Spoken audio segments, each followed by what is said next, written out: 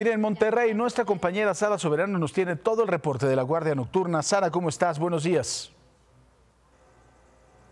Gracias, Francisco. Muy buenos días. Te saludo con gusto y me lazo contigo para relatar lo acontecido durante esta Guardia Nocturna. En primer lugar, el ataque a elementos de la Policía de Monterrey fue causa de una fuerte movilización por parte de los tres niveles de gobierno.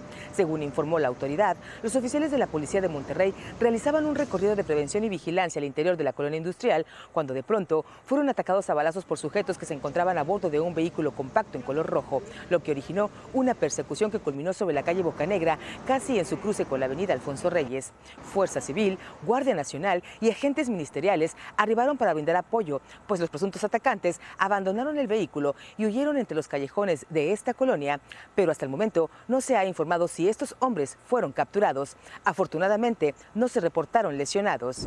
Posteriormente, un hombre fue asesinado de varios disparos cuando cenaba junto a su mamá. Este lamentable hecho tuvo lugar al exterior de un negocio de venta de bebidas alcohólicas ubicado en la colonia Luis Echeverría en Monterrey. La madre de la víctima mortal, identificado como Hugo Alberto Sánchez de 38 años, manifestó que el presunto sicario llegó caminando, le disparó a su hijo para luego huir a bordo de un vehículo en color blanco.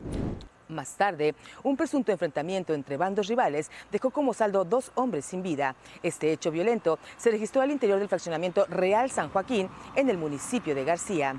El enfrentamiento duró varios minutos, así lo informaron los vecinos, quienes vivieron momentos de temor e incertidumbre. Francisco, hasta aquí el reporte. Muy buenos días.